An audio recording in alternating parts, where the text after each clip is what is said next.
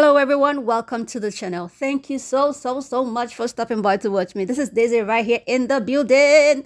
Thank you. I'm super happy to be here doing this again and again and again. No matter the situation, I would always speak and I will always give. Okay, why I say this is because I am just recovering from a terrible, terrible sickness. But we move. I am not giving up.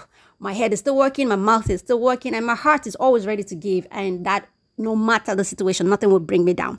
Anyway, let's move on in the light of, still in the light of applying into the universities in Brazil to study as an international student. Why I say still in the light is because we've been talking back and forth, you know, on my channel about how to study in Brazil. And uh, so this is just like the continuation of what I've got to offer on my channel regarding studying in Brazil. For those of you that do not know, uh, if you're coming across my video for the first time, it is absolutely free to study in Brazil for international students. Like absolutely free. Application fee free and no school fees to be paid. You can even be lucky you get scholarship either by scholarship body or directly from the school. So moving on. Today i have right here a course you can apply into on the PhD level and also master's level. And the course is, you know, PhD or master's in healthcare science. So if you are, you know, into this field, the healthcare science field or any other related, uh, you know, health course or, you know, health degree, you are eligible to apply for this course, both on the PhD level and also the master's level. You can either apply for the professional master's or the academic master's and vice versa for the PhD. All right. If you choose to apply for the professional masters, it means you might not, you will not go for a research project. Okay. You will not do a research. You are probably just targeting to use it to teach or to work or something of that nature. But if you choose academic masters, it means that you will definitely embark on a research journey. All right. That's just the difference. All right. So on the professional level, academic level, you can apply. So if you are interested in, um, if you have a degree, of course, you have to have a, a degree, undergraduate degree in any of the healthcare, any of the healthcare um, areas. Okay, you can if you're a nurse, if you're a doctor, if you're whatever you have studied before, anything in, in the healthcare area, you can actually apply for this because it's called the PhD and Masters in Healthcare Science. So anyone that has any related course, you can be a nurse, you can be any related, any healthcare related course can actually go for this course okay? So now moving on to how you can apply. I'm going to be putting the link to which you can apply in my description box all right? In my description box. When you click on it it will take you directly to where you will find the course because i have you know i just copied the exact page you will be finding the course so you don't go everywhere looking for what and what and getting confused because a lot of people say it's so difficult to apply. It, i don't understand what is difficult but i would not compare myself to the other people so what is confusing them? Excuse me i might not know. So that is why i have taken time to you know i will paste the exact page where you will find the you know the courses listed there. You choose what you're actually looking for and then apply now while you want to apply when you you know to to to apply you have to read right? You have to read through the notification notice. It is very important you read to know what they expect of you.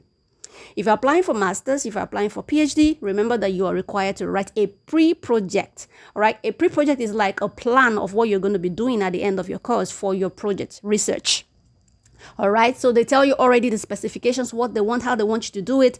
It is written in the notification guideline.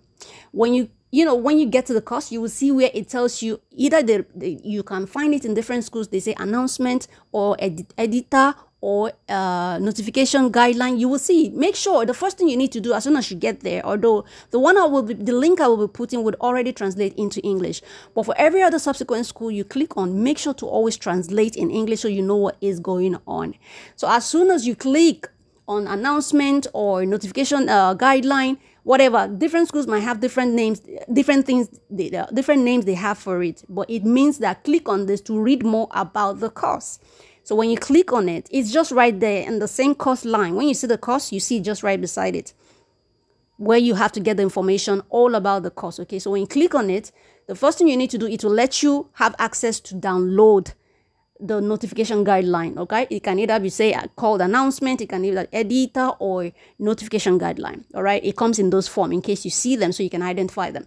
So the first thing you need to do when you click on the on, on, on it, it shows you, it gives you the possibility of saving the document When you save the document, the next thing for you to do is to translate that document into English. All right. When it's saved in your computer, laptop, or your phone, make sure you use Google Doc to translate that guideline into English so you have a proper understanding of what is required of you.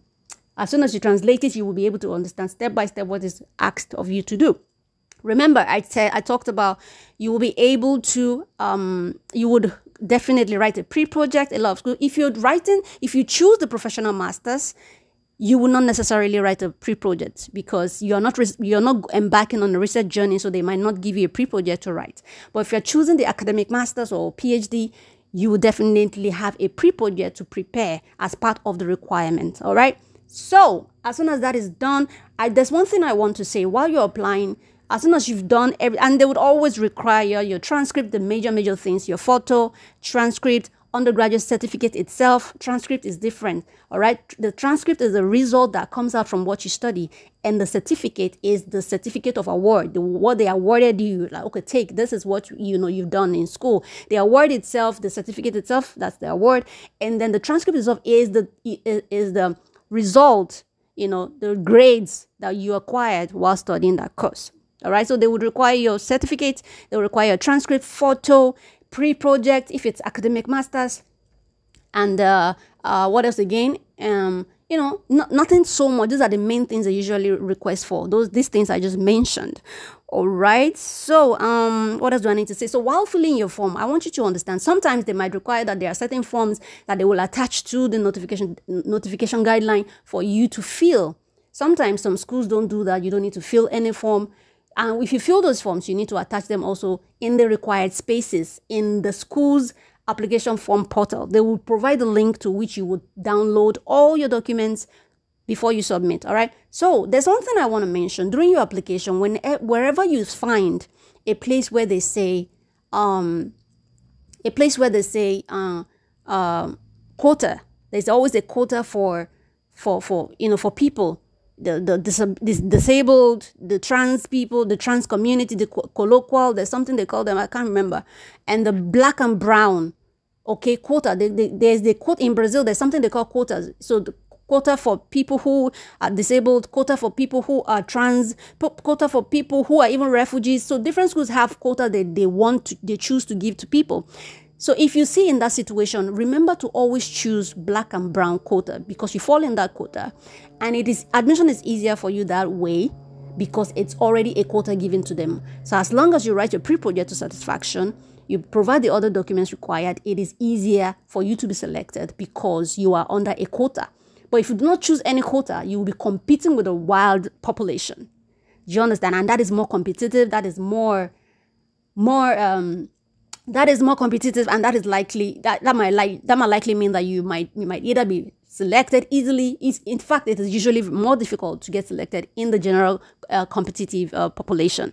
So remember to always choose black and brown as the quota that you will fall into. So admission is easy for you to get.